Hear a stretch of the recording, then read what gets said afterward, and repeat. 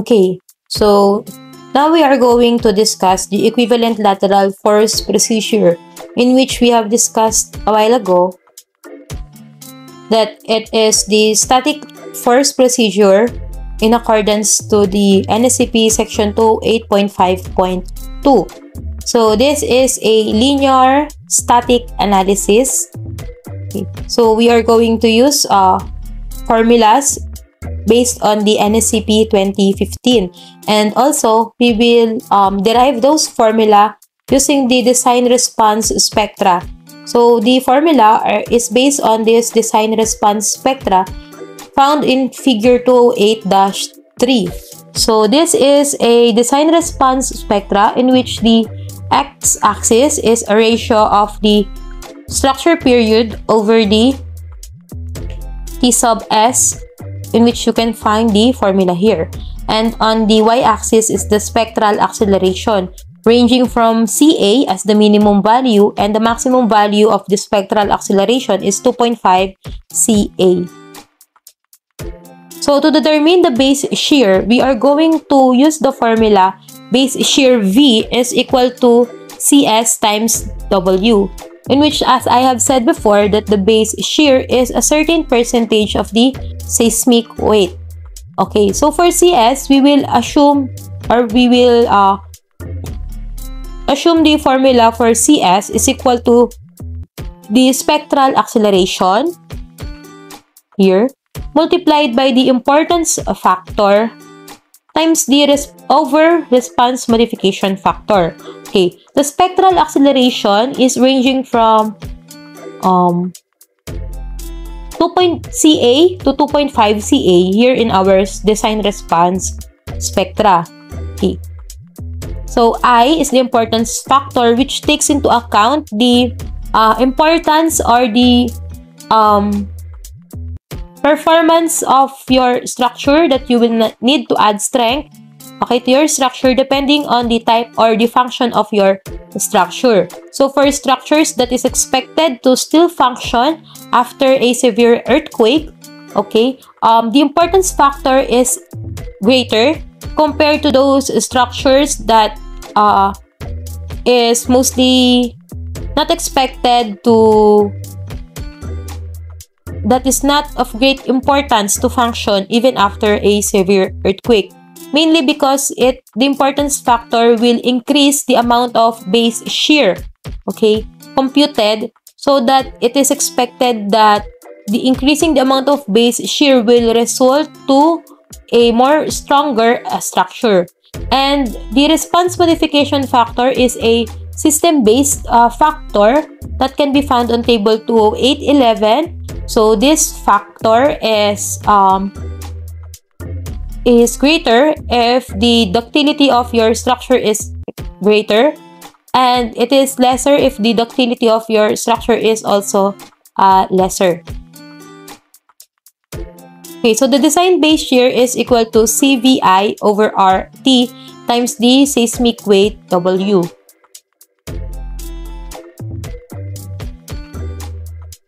So the mac that is okay. The design base shear is equal to CVI R T over W, in which T is the structure period in seconds unit. So this can be found in um, equation 28-8 in NSCP. So the maximum design base shear is equal to 2.5 CAI over R times W that can be found on equation to 8-9 in NSCP, the minimum design base shear is equal to 0.11 CAIW and to, in equation to 8-10. And additionally, in zone 4, V is equal to 0.8 ZNVI over R times W, found in equation to 8-11. So, the spectral acceleration here in the um, y-axis of our design response spectra. So, we have the Mi mommy mo. So this is the maximum spectral acceleration, 2.5 CA. And this is the minimum spectral acceleration. Okay. So you can see here, 0.11 is equivalent to 1 over 9. Which means if we are going to use the formula for the, the base shear CSW, um, it means that the R is equal to 9. So let's see. Um, here. So here is For the minimum value, okay, so we have CA. The spectral acceleration is CA. Here, this is CA. So we multiplied by I, the importance factor I. Okay, over R. So R over R, that's 0.11, that's 1 over 9. So R is equal to 9 here for the minimum design base shear times the seismic weight W.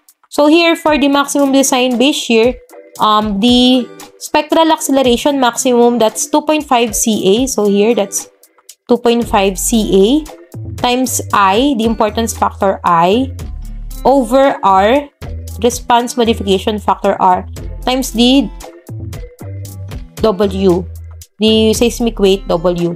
So for the design, so that's the maximum uh, design base shear and here is the minimum design base shear. So here in our design base shear, the spectral acceleration is equal to CVI over R. Uh, sorry, CV... No, no, sorry. Um, CV over T. So that is the spectral acceleration multiplied by I over R times the base um, seismic weight W. Okay. So for uh, periods of vibration, we have two methods to compute for the periods of vibration.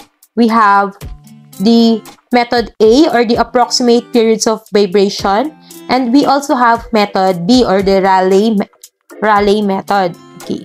So for first for method A, the approximate periods of vibration, so we have TA or the period A is equal to CT times HN raised to 3 4 in which CT is equivalent to 0.0853 for steel moment resisting frames or 0.0731 for reinforced concrete moment resisting frames and eccentrically braced frames or it can also be equal to 0.0488 for all buildings. And also, it can be equal to 0.0743 over square root of AC, which this is the formula for the AC for structures with concrete or masonry shear walls. Now, HN is the height of your structures, of your structure above the ground.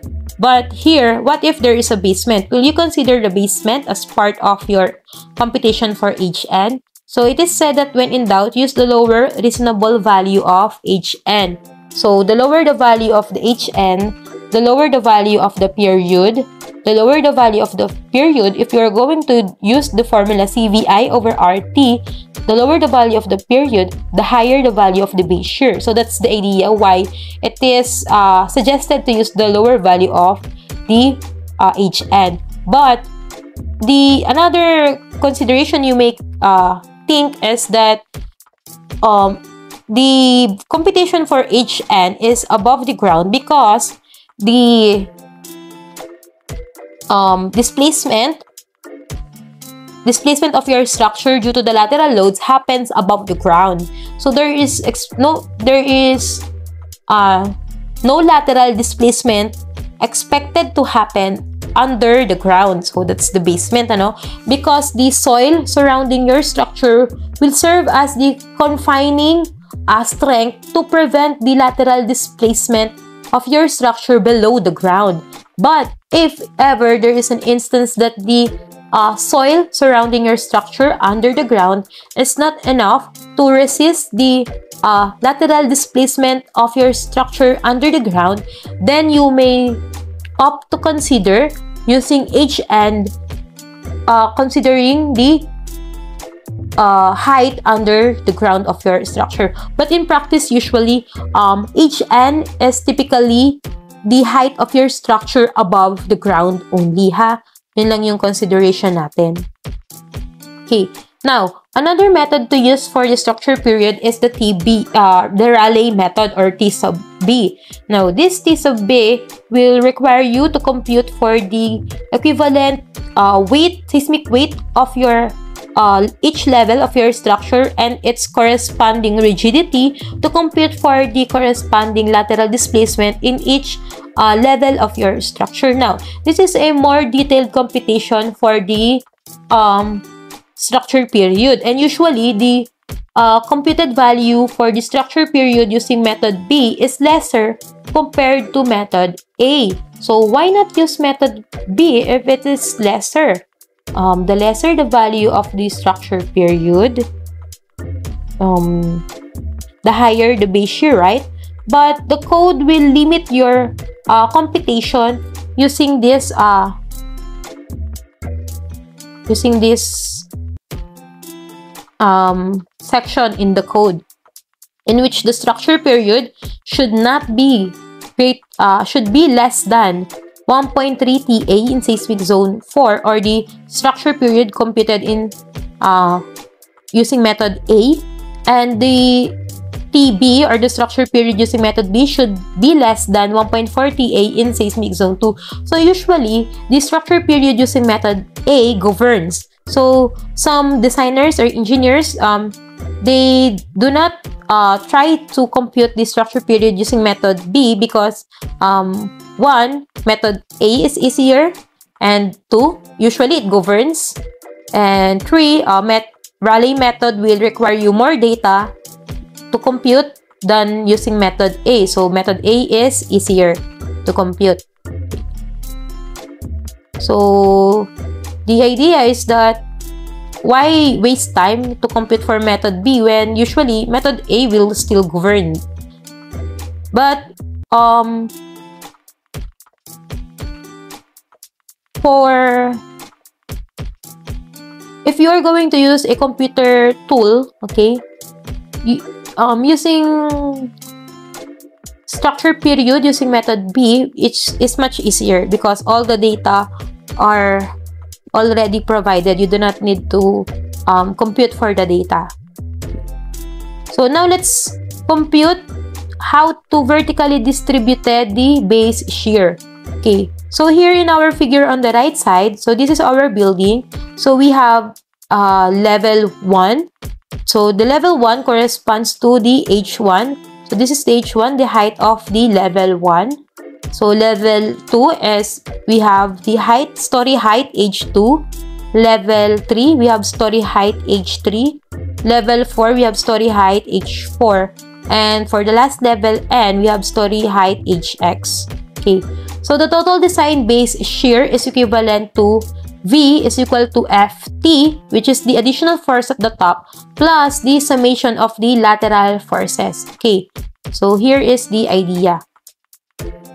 So here is the base shear we have computed a while ago using uh, whichever governs to the design base shear, the maximum and the minimum amount of base shear. So whichever governs to the computation of the base shear, so you will find it here. So it is assumed that the base shear will act on the uh, ground, on the base of the building. So that's why it is called the base shear.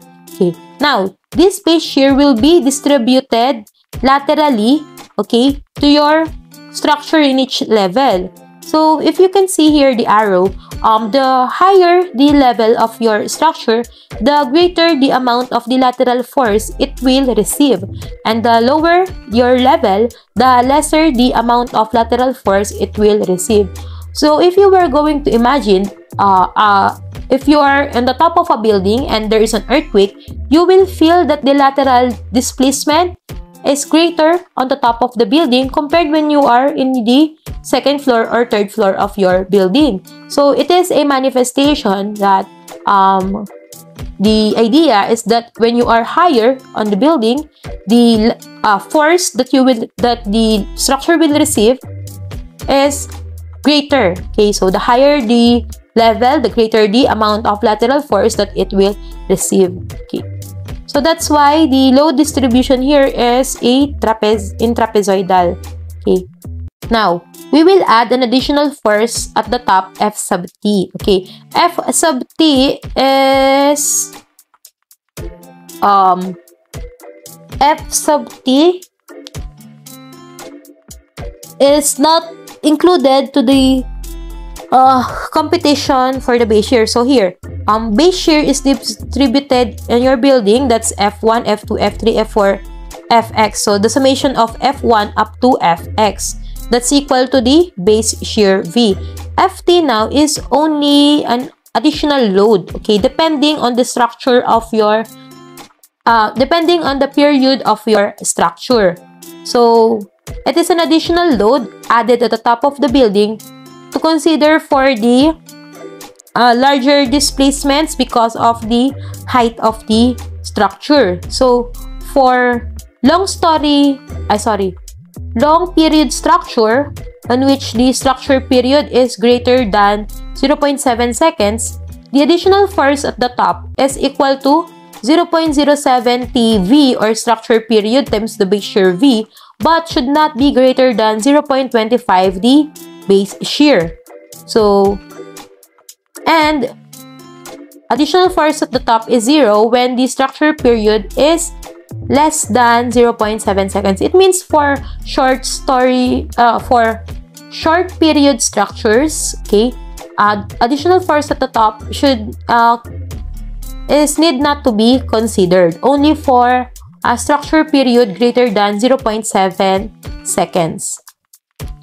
So the lateral loads Fx or F1, F2, F3, F4, Fx is equivalent to the uh, V, okay? So that means uh, excluding the additional force at the top, the base shear alone here, uh, base shear V is equal to, I'm um, sorry, multiplied to W sub X, the weight of the, the seismic weight per story of your structure times Hx, the story height of your uh, level that you are going to consider okay, over the summation of the uh, seismic weight in each level times the uh, story height. So later on, um, the next videos, I will have in an example for this distribution of the lateral loads. And each Hn is the summation of the story height. For example, for F, for let F2, yan, let's say F2. So the lateral loads at level 2 is equal to F2. So F sub 2 is equal to the design base to the, the base shear, computed base shear, excluding the additional force at the top, multiplied to the W sub 2 or the seismic weight computed for to the level 2 times Hx, so that's H2, okay, or the story height here, all over the summation of the uh, seismic weight times the story height. So that's the f of x.